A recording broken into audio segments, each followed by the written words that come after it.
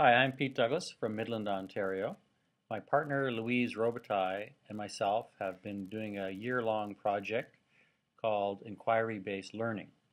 We developed a website at www.inquirybased.com for everyone to share in our adventures for the year. We had a tremendous year. The kids in my class, I'm a grade 5-6 teacher, worked all year on group work and they developed the curriculum towards the end of the year where they were coming up with curriculum ideas and helping develop ideas for use in the classroom. So it was a very successful year. We had a lot of fun, and we think the kids really benefited from all of our work. The work itself was twofold. We had a lot of classroom material, but we also worked with our colleagues. We had a book club. Also, we had a demonstration classroom where we had teachers from around our board come in and spend the day with us and learn some of the techniques that we used.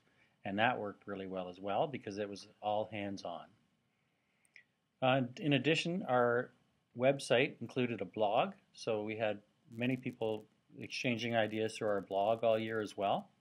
And that was an easy way for keeping track of people who had ideas that would like to join us in our conversation as the year went on.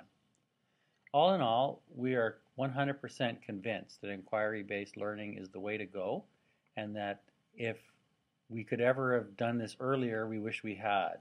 We wish that uh, inquiry-based learning was a part of our part of our teaching for the last 10 or 20 years.